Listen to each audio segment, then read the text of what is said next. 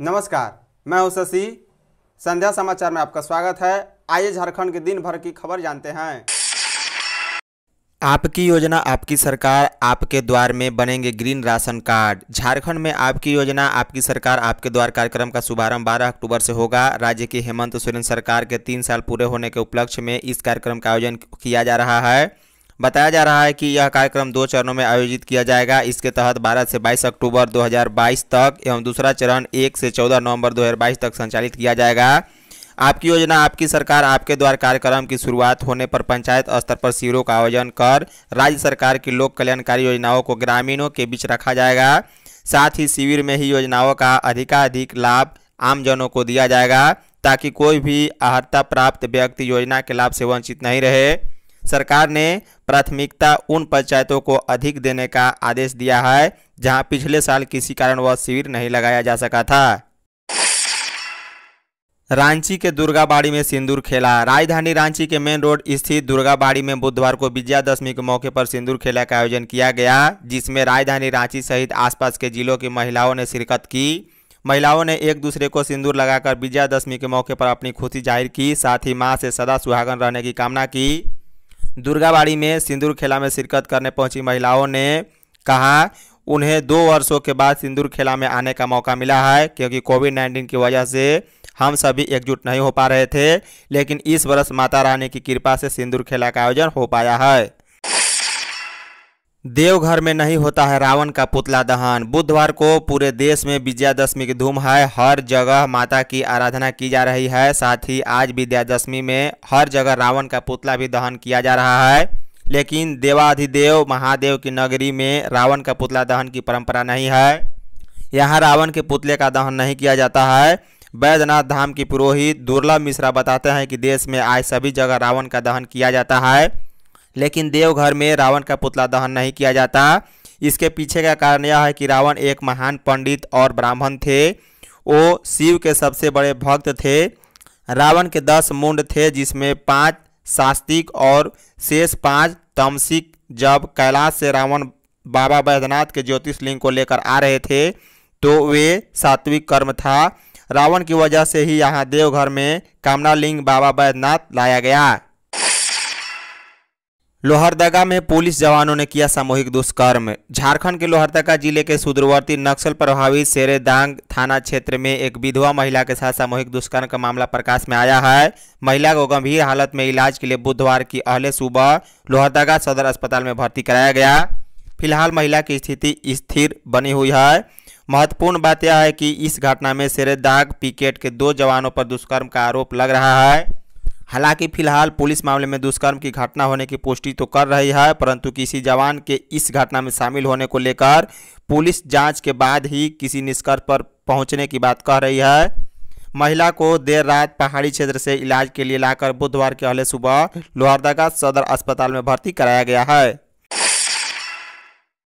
Deoghar AIIMS में security guard के लिए यूपी में भर्ती। देवघर एम्स में सिक्योरिटी गार्ड की भर्ती हो रही है। इस भर्ती के लिए इच्छुक अभ्यर्थियों को यूपी के मिर्जापुर बुलाया गया है। वहाँ पर 6 से 8 अक्टूबर तक भर्ती प्रक्रिया चलेगी। देवघर एम्स के लिए यूपी में भर्ती प्रक्रिया को लेकर बीजेपी सांसद निशिकांत दुबे ने सवाल खड़े किए हैं। बीजेपी सांसद निशिकांत दुबे ने ट्वीट कर लिखा है, देवघर के गरीब बच्चों के साथ यह अन्याय है। मुख्यमंत्री हेमंत सोरेन जी अपने अधिकारियों, डीसी देवघर को ताकीद करें कि यह भर्ती देवघर में ही हो।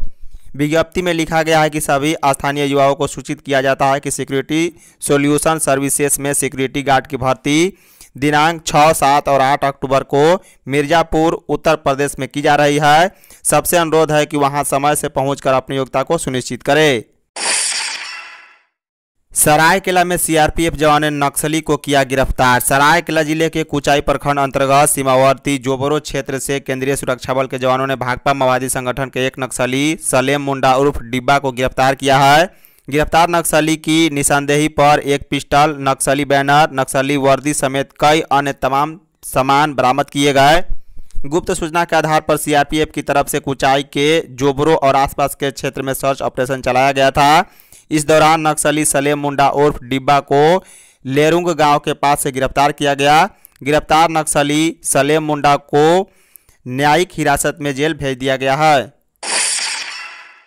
रेलवे प्लेटफॉर्म टिकट दाम तीन गुना तक बढ़ा। ट्रेनों से सफ़र करने वालों के लिए बड़ी खबर है। बता दें, भारतीय रेलवे ने त्योहारों से पहले एक बार फिर प्लेटफॉर्म टिकटों के दाम तीन गुना बढ़ाकर यात्रियों को बड़ा झटका दिया है। अब दिल्ली के प्रमुख स्टेशनों पर त्योहारों के सीज़न में लोगों को तीन गुना कीमत पर प्लेटफॉर्म टिकट खरीदना होगा। पहले जहाँ केवल दस रुपये में प्लेटफॉर्म टिकट मिलता था, वहीं इसके लिए अब तीस रुपये कीमत चुकानी होगी।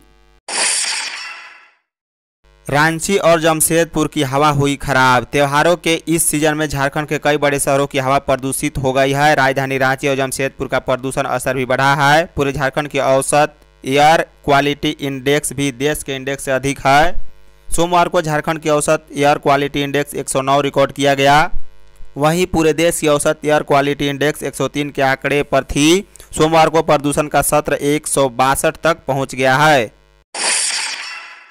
देवघर में अब खराब मौसम में भी विमानों की होगी लैंडिंग। विजिबिलिटी कम होने से देवघर एयरपोर्ट में फ़्लाइट के लैंडिंग नहीं हो पाने की समस्या से निजात दिलाने पर काम शुरू हो चुका है, जहाँ रनवे के पूर्वी क्षेत्र में इंस्ट्रूमेंट लैंडिंग सिस्टम का सिविल वर्क चल रहा है। इससे खराब मौसम में भी विमानों के लैंडिंग की समस्या से छुटकारा मिल जाएगा। देवघर एयरपोर्ट में इंस्ट्रूमेंट लैंडिंग सिस्टम नहीं होने से खराब मौसम के कारण अधिकतर विमानों को डाइवर्ट कर दिया जाता है।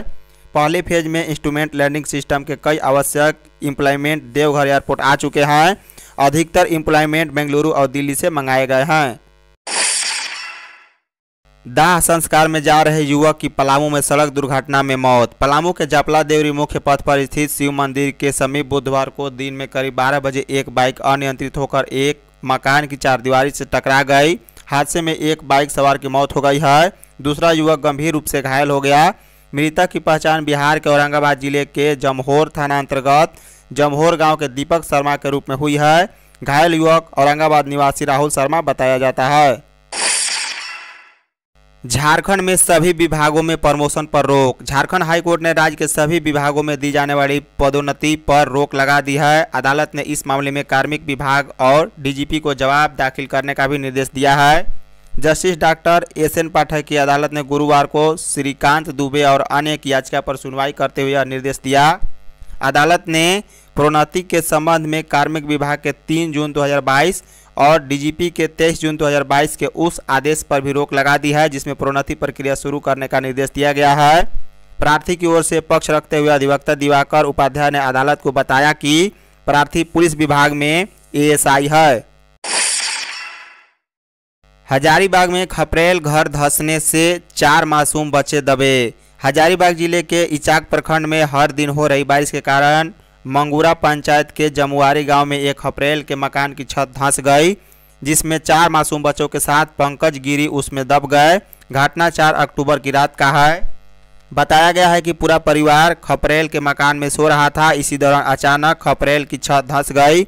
घर में सो रहे मकान मालिक पंकज गिरी एवं उनके चार बच्चे मलबे में दब गए। हादसा मंगलवार 11 बजे रात का हुआ है। हल्ला सुनकर पड़ोस के ग्रामीण जुटे एवं मलबे से नीचे से सभी लोगों को बाहर निकाला गया। धन्यवाद। यदि आप चैनल पर नए हो तो चैनल को सब्सक्राइब कर बॉल का बेल आइकन दबाइए, साथ साथ वीडियो को एक लाइक कर अपने दोस्तों के साथ शेयर करना ना भूलें। साथ ही साथ आप हमें कमेंट बॉक्स में अपना फीडबैक अवश्य दें। Thank you.